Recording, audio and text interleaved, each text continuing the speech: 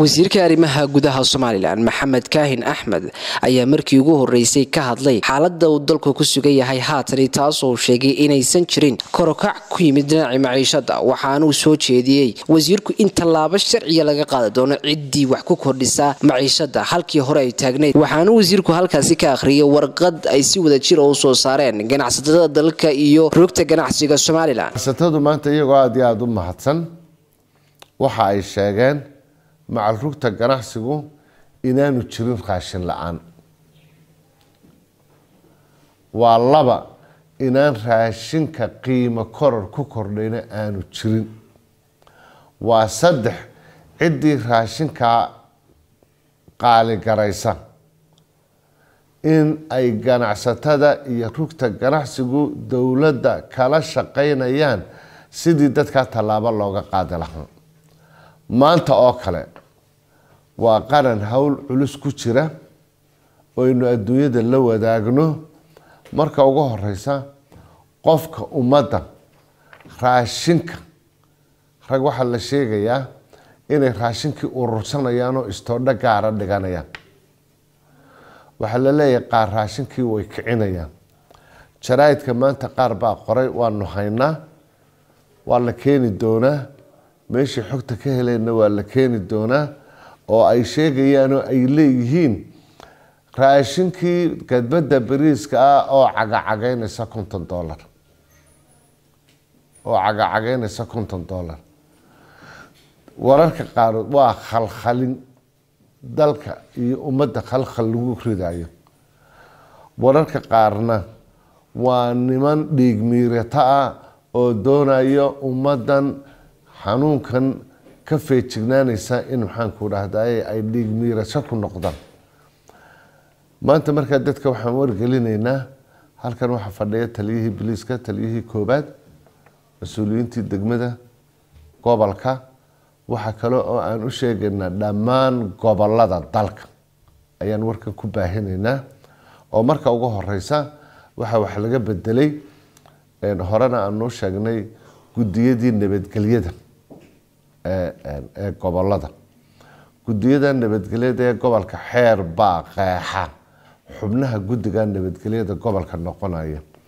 Gudiyada waxaa lagu daray imika isuduwaha wasaaradda caafimaadka ee gobolka. Isuduwaha wasaaradda warfaafinta. Isuduwaha wasaaradda diinta iyo awqaafta. Wasaaradda daakhiliga waxaa ka jooga barasaabada waxaa ka jooga meeyarada ayaa iyaga ka jooga.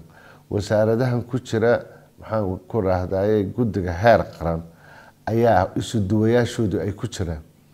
Barnaamijka lagu shaqaynayaa imika ilaa iyo heer qaran laga bilaabo madaxweynaha laga bilaabo ilaa iyo mas'uuliyadda heer tuulaha degmada gobolka heer qaran. Waxaa lagu shaqaynayaa tilmaamaha ka soo baxaya wasaaradda caafimaadka oo iyaga dhakhaatiirtii halkaasay inoo joogtaa farsamo yaqaanadii halkaasay inoo joogaan xanuunku waa xanuun halis ah waxaa la adeegsanayaa waa awood caafimaad iyo cilmi caafimaad ayaa lagu shaqaynaya.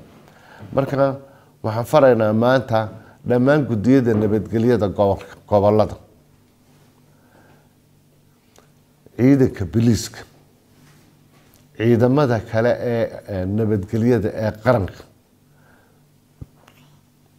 guddoomiyeyaasha meeyarada xildhibaanada degmooyinka meeyarada degmooyinka aan xildhibaanada laga dooran inay si joogto ah ula socdaan ganacsatada dukaamada bakhaarleyda qiimaha raashinka lagu iibinayo.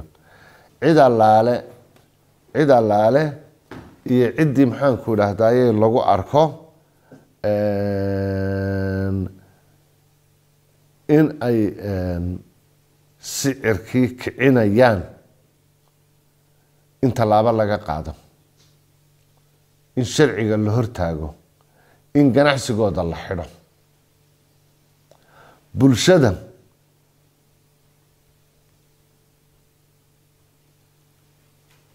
Bulshada reer somalilan waxaan ku wargelinaynaa had iyo jeer waxyaalo fara badan bay bulshadu iyagu mas'uul ka yihiin. Waxay mas'uul ka yihiin ninkii gadbada bariiska daqiiqada ah maxaanku dhahday bakhaarada waaweyn shan iyo tobanka dolar labaatanka dolar ama qiimo kastoo joogto ka soo siistay inuu markuu bakhaarka keeno ama dukaanka keeno uu laba jibaar ku iibiyo. Ilaahayna doorkan wuu ku cunoqabataynaya ummadana maxaanku dhahday dembiga ay ku galeen waa laga goynaya. Dowladuna way raacaysaa oo way tallaabay ka qaadaysaa sharcigaa la horgeynayaa lama ogolaanayo dadka somalilan ee heerkeena dhaqaaluhu halkuu jooga aynu garanayno ee boqolkiiba sagaashan danyarta u badan ee boqolkiiba soddon ilaa iyo afartan barakaca ah. Ninka maanta raashinka ku ciqaaba ilaahay ifkana wuu ku ciqaabaya aakhirana wuu ku ciqaabaya. Waa maxamed badri maxamed maxamed somaali telefishinka caalamiga star t v hargeysa